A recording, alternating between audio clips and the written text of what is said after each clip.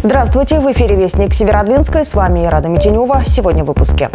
Проверили гаражные кооперативы. Представители администрации и прокуратуры выявили злостных нарушителей и отличников по чистоте. Начался ежегодный сезон поджигания сухой травы. Только за майские праздники в регионе произошло 21 возгорание. Мир, труд, май. Тысячи северодвинцев встретили День весны и труда. Итальянская классика, неаполитанские песни, русский романс. Голоса знаменитого квартета прозвучали на сцене ЦК и ОМ. Теперь подробнее. Территорию гаражных кооперативов проверили сотрудники прокуратуры и администрации Северодвинска. Цель таких рейдов – не наказать рублем, а сохранить экологию и поддержать чистоту. Кто справился с задачей, расскажет Мария Воробьева. Машина как вторая жена, гараж как второй дом. Вот уже 10 лет в этом гараже в ГСК «Меркурий» чинит, варит и сверлит Василий Рыбалов. Как признается автомобилист, их кооператив небольшой, дружный и чистоплотный. Есть субботники, бывает, конечно. Вот сейчас пока не было еще, но, наверное, скоро будет. Будем прибирать, где тут все плохо лежит или брошено. Но если чисто, так она и красиво, и хорошо, и вопросов нет, не запинаешься, ничего не мешает. Прекрасно просто. Показательная территория Меркурия на контрасте с ГСК «Темп». Темпы уборки здесь медленные. Хотя владельцев гаражей более полутора тысяч человек. Сегодня в кооперативы повторно приехали с проверкой представители отдела экологии и природопользования администрации города и сотрудники прокуратуры. С последнего их визита, 27 апреля, ситуация не изменилась. До 1 мая дали срок э, всем председателям, написали обращение, чтобы территория была в порядке. То есть это что значит? Это чтобы контейнерные контейнеры были вывезены и вся территория приведена в порядок, то есть убрана. То есть была в удовлетворительном состоянии. Ну вот мы сейчас видим, что у нас ГСК «Темп» игнорирует наши требования. В неудовлетворительном состоянии сейчас находятся территории 41 гаражного кооператива. Все результаты проверки переданы в прокуратуру. К настоящему моменту выявлено множество нарушений, допускаемых гражданствоительными кооперативами в указанной сфере законодательства. В этой связи прокуратурой внесено порядка 20 представлений к настоящему времени об устранении нарушений закона. Ну и кроме того, материал, будет, материал проверок будут направлены в Роспотребнадзор Северодвинска для решения вопроса о привлечении виновных лиц к административной ответственности от 30 до 50 тысяч рублей может заплатить физическое лицо. Штраф на юридических лиц составит от 100 до 200 тысяч рублей. Следующая проверка состоится после 9 мая. Кроме повторного визита в ГСК, представители администрации и прокуратуры заглянут в СНТ. Проверят, как поддерживается чистота территорий.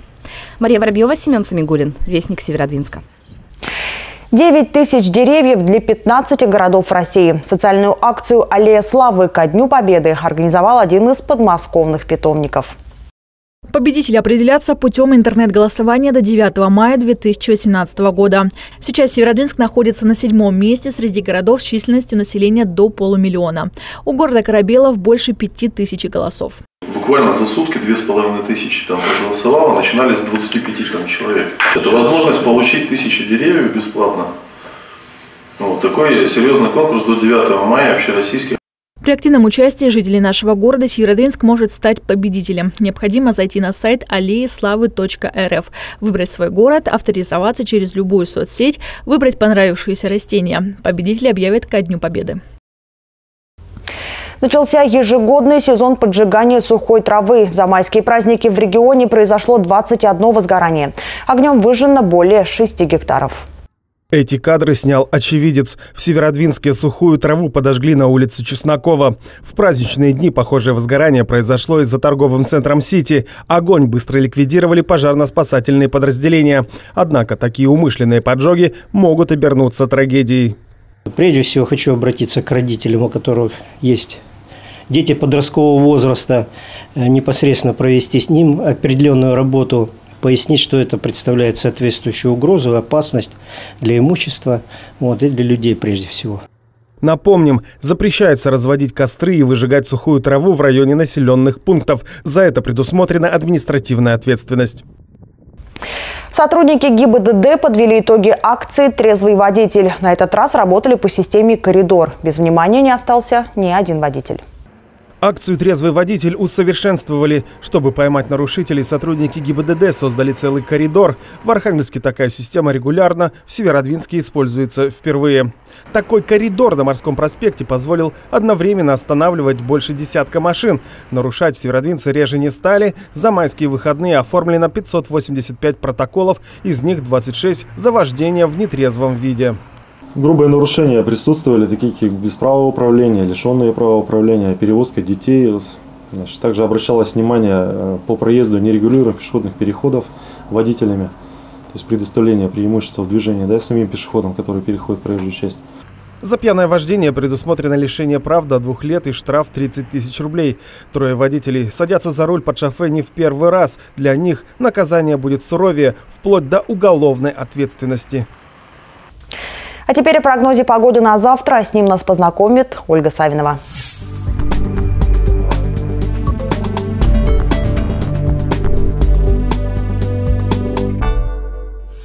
Неделя завершится теплой и комфортной погодой. Здравствуйте! Вас приветствует Небесная канцелярия. В воскресенье 6 мая, по данным сайта Архангельского гидромедцентра, в Северодвинске ночью 2 градуса тепла, днем 8. Ветер юго-восточный, слабый 2 метра в секунду. Облачно, без осадков. Атмосферное давление практически неизменно 762 миллиметра ртутного столба. В народном календаре 6 мая – День Георгия Победоносца. С этого дня активно занимались полевыми работами и наблюдали, если погода теплая, скоро наступит лето. На этом все. До встречи!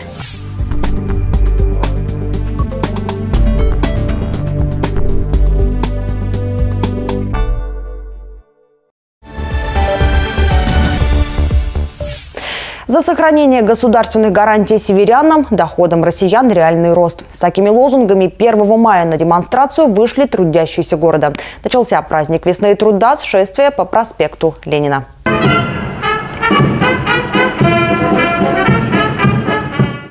Сотрудники городообразующих предприятий, администрации города, ветераны, студенты, представители политических партий и общественных организаций. Более трех тысяч человек в одной колонне. Это традиционное первомайское шествие.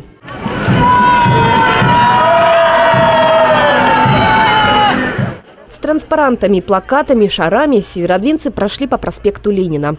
Так город Корабелов встретил День весны и труда. Спасибо, люди, что вы работаете и трудитесь на благо нашей Родины и нашего любимого города Северодвинска, которому в этом году 80 лет. Ура! Первомайское шествие – это не только демонстрация достижений города, но и общий праздник, когда каждый ощущает свое единство с товарищами, коллегами. Я, я считаю, что это важно. Это важно. Это сплоченность. Вот. Люди как-то становятся и добрее, и сплоченнее, и отзывчивее. А сейчас все-таки стали мы жить лучше. За мир, дружбу и любовь, сотрудничество со всеми странами и с нашими людьми. За сохранение государственных гарантий северянам, доходам россиян реальный рост, установить МРОД выше прожиточного минимума.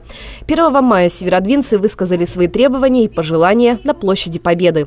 Ни для кого не секрет, что минималку получают и сторож, и помощник воспитателя, и повар, да и педагог, работающий на норму. А все премии съедает МРОД. Средняя зарплата педагогов растет, но финансов для ее выплаты выделяется недостаточно. И образовательным учреждениям в который раз предлагают оптимизироваться. Сегодня это как раз тот день, когда нам необходимо власти и профсоюзам протянуть руки друг к другу, обозначить острые вопросы и постараться их решать естественно вместе. Без критики невозможно движение вперед. И сегодня мы, конечно, стараемся сделать так, чтобы наша жизнь была более достойной, а наши зарплаты соответствовали тому географическому положению, в котором находится непосредственно город Северодвинск. Требования трудящихся, обращенные к региональной и федеральной власти, вошли в резолюцию митинга. Мария Воробьева, Семен Смигулин, Вестник Северодвинска.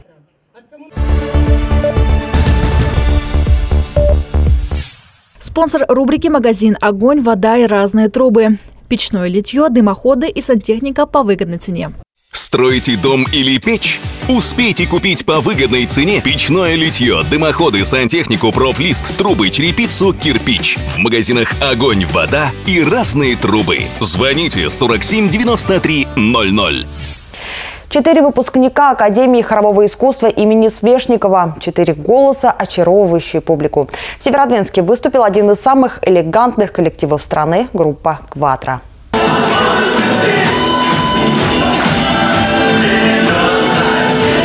Тот случай, когда на месте просто не усидеть. На концертах группы «Кватро» зрители не только поют, но и танцуют. В Северодвинске вокалисты представили песни российской эстрады, неаполитанские и итальянскую классику. Мы с огромным удовольствием поем песни, с которых мы и начинали, и поем что-то новое, вставляем каждый раз. И для нас это большое счастье. Вокальная группа «Кватро» создана в 2003 году. Особая популярность пришла к коллективу в 2009, когда музыканты вошли в тройку лидеров национального отбора музыкального конкурса «Евровидение».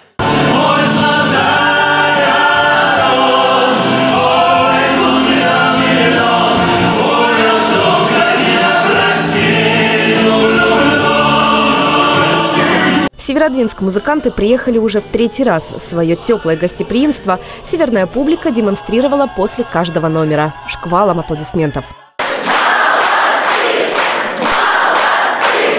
Мы каждый раз очень рады сюда приезжать, потому что это огромное счастье когда ты отдаешь со сцены и обратно принимаешь гораздо больше. Это очень приятно. Когда женщины сидят вот так, смотрят, слушают, ты понимаешь, что у тебя есть непосредственный контакт, и тебя как бы впитывают люди. Это невероятно, особенно вот ваша публика. Она очень избирательная, кстати говоря. Сначала так слушали, смотрели, смотрели, а потом как? прям вот, то есть не просто так вот такая добрая, прям сразу всех принимать, нет. Вот. А как поет хорошо публика? Да, да. Очень хороший концерт, репертуар хороший, голоса хорошие, я вообще очень довольная. Италия, песни, испанские песни. А Муслима Магомаева. Это такая редкость. Голоса сильнейшие просто и красивые мужчины. 11 мая голоса этих красивых, русских и талантливых мужчин прозвучат в Америке. Мария Воробьева, Павел Пунанов, Вестник Северодвинска. У «Вечного огня» вспоминали героев Великой Отечественной войны. Два солдатских медальона уроженцев Архангельской области переданы родственникам. В 2017 году прах Тимофея Григорьевича Кошелева обрел покой в Медвежьегорском районе Республики Карелия. А сегодня именной медальон бойца поисковики Северодвинска торжественно передали родственникам. Второй медальон Степана Павловича Фомина отдали двоюродной внучке из Онеги. Солдат погиб в боях за Карелию. Когда я родилась, бабушка была уже в большом возрасте, она 10 -го года рождения. То есть я ничего не слышала и не знала. Ей было тяжело это вспоминать. Контакт помог во всем. А, была запись, что ищ, э, ищем родственников Фомина Степана Павловича. Я бы туда не зашла, если я не знала, откуда у нас бабушка. Я знаю, что у нас бабушка деревня Мондина. И я зашла. И потом уже все, вот там уже вся подноготная была. Фомин Степан э, с города Онеги. Он был найден в 17 году в мае месяце поисковыми отрядами э, с Нижнего Новгорода, с Великого Новгорода и с города Москвы, нашими коллегами. Вот, нам уже был передан медальон для экспертизы. А, вот уже ребята наши северодвинцы, значит, его смогли расшифровать. Бойца Степана Фомина похоронят завтра в 11 часов на воинском кладбище в Ониге. В Архангельской области на воде без вести пропал молодой человек. Рыбак решил спасать лодку. На реке Вель четверо мужчин вывалились на вираже из лодки. Трое, включая владельца плавсредства, поплыли на берег и спаслись. Четвертый поплыл за ней вниз по течению реки. Больше его никто не видел. О других происшествиях в рубрике «Протокол». Спонсор рубрики – строительно-инвестиционный холдинг «Аквилон Инвест». Только в мае скидка на квартиру до 19%. Больше размер, больше скидка. Только в мае, покупая квартиру в Аквилон Инвест, вы получаете скидку до 19%. Чем больше размер квартиры, тем больше выгода. Звоните 52 400. Аквилон Инвест. Мы работаем без выходных.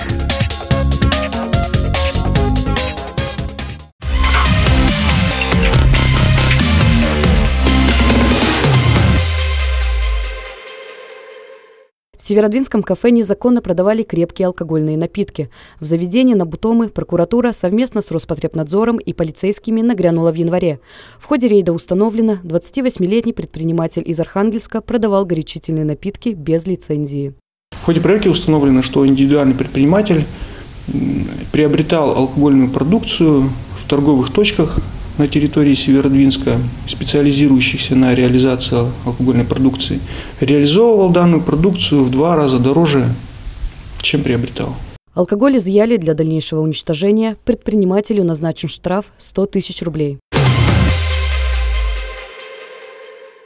Областной суд оставил в силе приговор Северодвинского городского суда по делу Евгения Халтурина. Напомним, бывшего замначальника управления муниципального жилфонда признали виновным в получении взяток. Суд назначил наказание в виде 8 лет лишения свободы. Тело 32-летнего мужчины найдено на юбилейной 7 в Северодвинске. По данному факту возбуждено уголовное дело. На теле мужчины следователи обнаружили многочисленные побои. Задержан подозреваемый, знакомый потерпевшего, хозяин квартиры. По предварительным данным, после совместного застолья между знакомыми возник конфликт. Подозреваемый избил оппонента, последний скончался на месте происшествия. Изначально из версии было, что значит, потерпевший сам пришел к нему домой, получается, и уже, ну, где-то, якобы где-то на улице получил телесные повреждения, пришел к нему в квартиру и там скончался, как бы, но уже когда начали проводить оперативные мероприятия и следственные действия, как бы, мужчина осознался, что, как бы, между ними был конфликт, и он все-таки, как бы, и, так скажем, он избил потерпевшего. Конфликт между мужчинами слышали соседи, подозреваемый под стражей, ему грозит до 15 лет лишения свободы.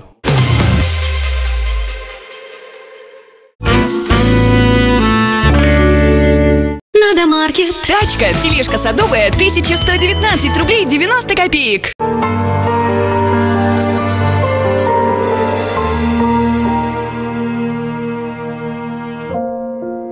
Северный рабочий. Газета всех поколений. На все времена. Оформить подписку можно в любом почтовом отделении в киосках Роспечати, в редакции газеты «Улица Южная, 20» и в магазине «Росич».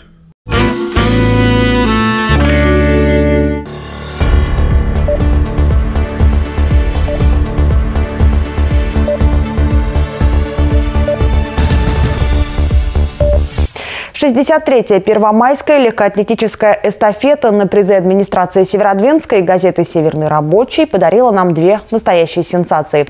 На четырехкилометровой дистанции соревновалась 61 команда. К сожалению, прохладная погода не способствовала установлению новых рекордов бега.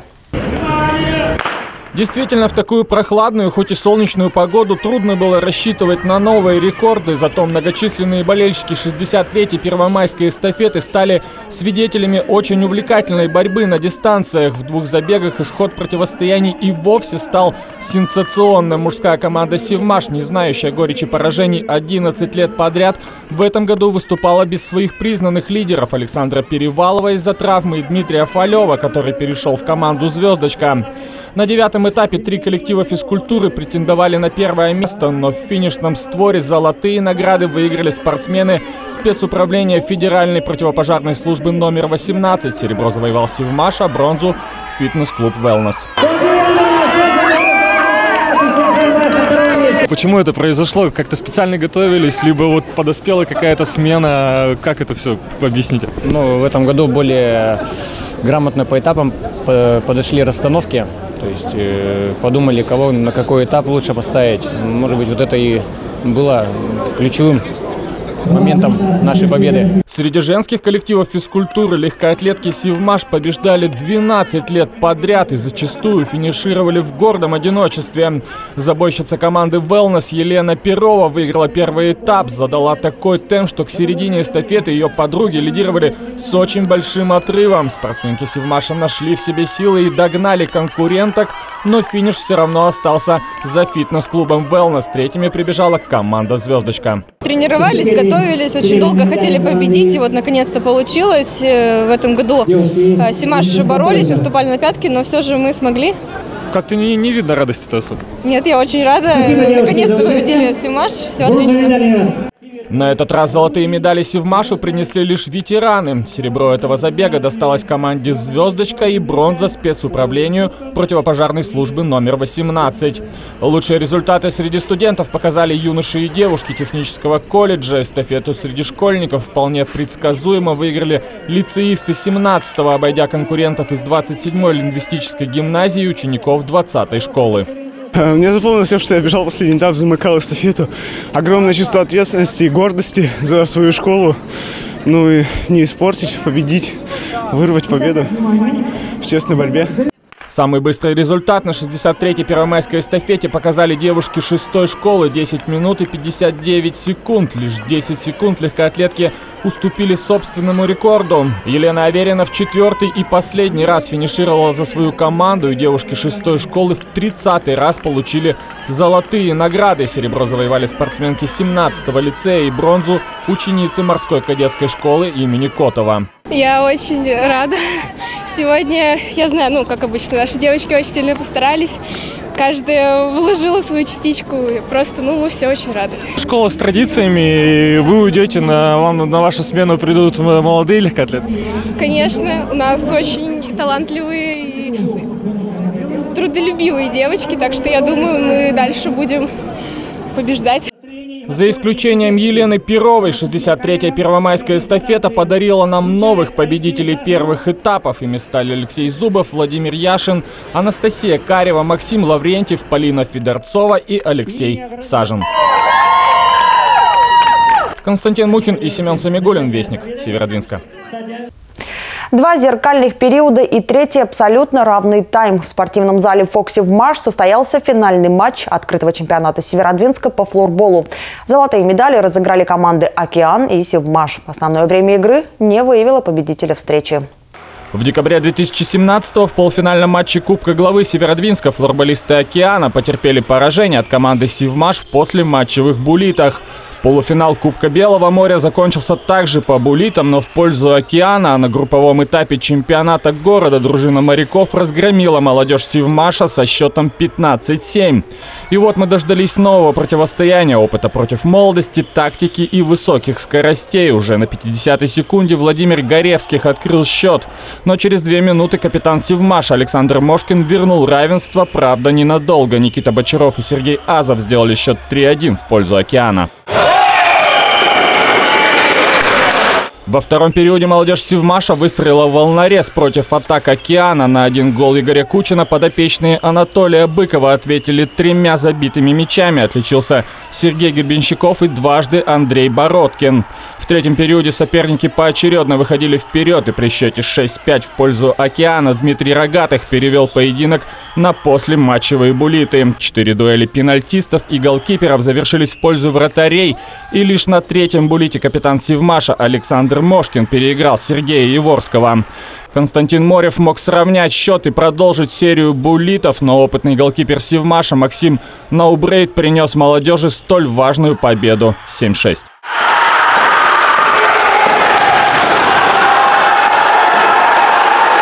Было ли тяжело физически? Конечно. Ну, что испытываешь от этой победы? Да счастье, столько не могли выиграть, а сейчас получилось непередаваемые эмоции.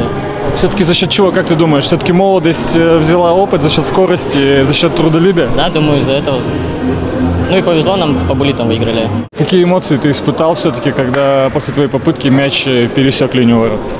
Ну, мне все-таки кажется то, что все равно булиты это лотерея, но так как э, игра полностью была на нашей стороне, я думаю, нам повезло больше. Впечатление, на самом деле, самое положительное. Финал там достойный, я считаю. Команда Севмаш очень Э, в этот раз очень молодцы подготовились, э, показали хорошую игру. Э, в конце мы, мы уже вели, то есть немножко расслабились, ничья, булиты. Ну, молодцы на самом деле, то есть показывают хорошую игру. То есть, как вы сегодня видели, то есть молодые игроки, которые действительно сейчас делегируются в сборную области, то есть показывают именно этот уровень. Лучшими игроками открытого чемпионата города были признаны нападающий Сергей Гребенщиков и защитник Александр Мошкин из команды чемпионов. Голкипер Сергей Яворский и самым ценным футболистом признали Илью Вишнякова, оба «Океан». Константин Мухин и Павел Пунанов, Вестник Северодвинска. На сегодня это все новости. С вами была я Рада Митинева. Всего доброго и хороших вам новостей.